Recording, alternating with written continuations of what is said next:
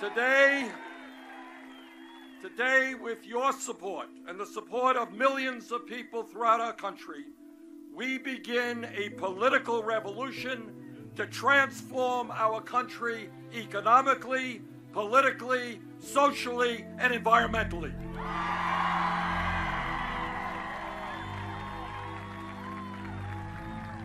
Today, we stand here and say loudly and clearly enough is enough. This great nation and its government belong to all of the people and not to a handful of billionaires.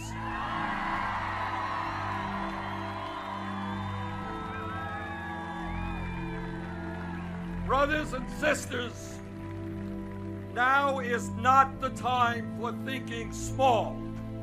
Now is not the time for the same old, same old establishment politics and stale inside the Beltway ideas. Now is the time for millions of working families to come together to revitalize American democracy, to end the collapse of our middle class, and to make certain that our children and grandchildren are able to enjoy a quality of life that brings them health, prosperity, security, and joy, and that once again makes the United States the leader in the world in the fight for economic and social justice, for environmental sanity, and for a world of peace.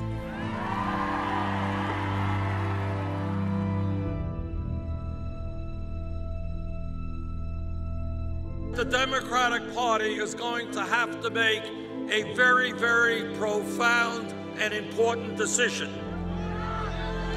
It can do the right thing and open its doors and welcome into the party people who are prepared to fight for real economic and social change.